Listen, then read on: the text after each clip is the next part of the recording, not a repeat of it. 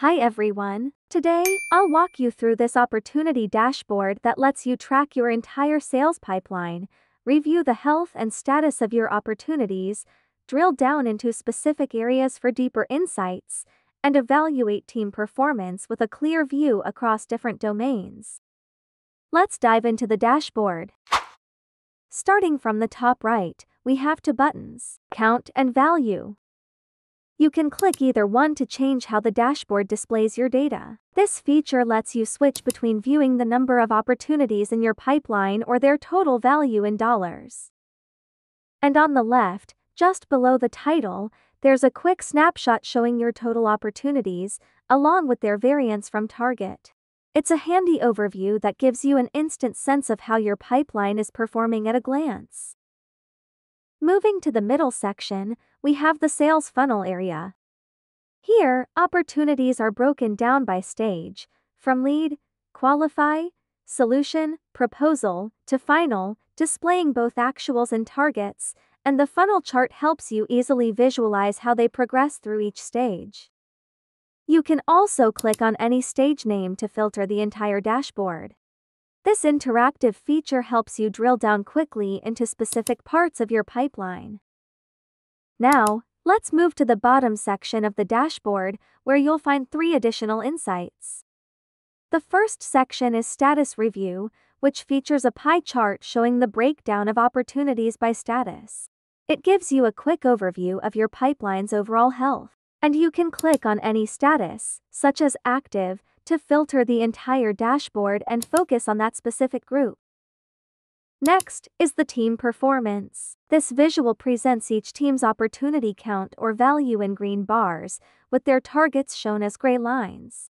It offers a clear comparison of performance across teams and against their individual goals. Clicking on any team also filters the dashboard to show only that team's data.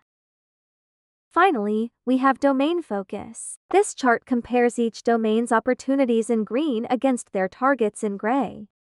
It highlights which domains contribute most to your pipeline and where to focus your efforts. You can also click any domain to instantly filter the dashboard and view details for that segment. Together, these visuals make it simple to explore your opportunities from multiple perspectives, all in one interactive dashboard. If you like what you're seeing so far, don't forget to subscribe to our channel. Now, let me show you how to make this dashboard yours in three simple steps. Step 1. Download the template. Start by downloading the Power BI template and the Excel dataset using the link in the description below. It's completely free and easy to access.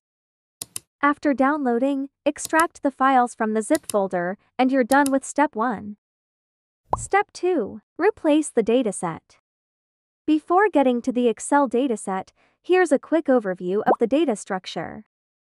The first table contains your main opportunity data, including fields like create date, mask project, project name, account ID, value, and the dimension keys for stage, status, domain, engagement, and team. The second table, target, stores the target data using the same dimension fields, along with each group's target opportunity count and value. The next five tables, stage, status, domain, engage, and team are dimension tables that help categorize your data for filtering and analysis. All of these tables are connected by key fields, allowing the dashboard to pull everything together into one complete view. Now, let's open the Excel file. The first data worksheet contains the sales opportunities data. Replace this sample data with your actual pipeline records. The second worksheet target contains the sales target data. Replace these data with your target figures.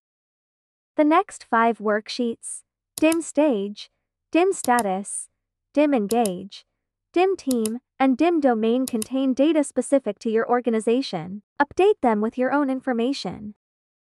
The last worksheet funnel is preset for the funnel visual, so no changes are needed if your process also uses five stages for opportunity tracking. And that's it for the Excel file setup. Step 3. Load your data to the BI template. Open the BI file in the Power BI desktop. If you don't have Power BI desktop yet, download it free from the Microsoft website. The link is in the description. I'm also preparing a separate time-lapse video showing how this dashboard was built from scratch. I'll add the link above once it's ready. Now, back to loading your data. Click on the Transform Data button to enter the query view. Then go to Data Source Settings at the top. Select the file shown, click on Change Source. Browse and navigate to the folder where you saved your dataset. Power BI file will then load your updated data automatically. To exit Query View and load your data, go to the top left corner and click Close and Apply. Give it some time to load your new data.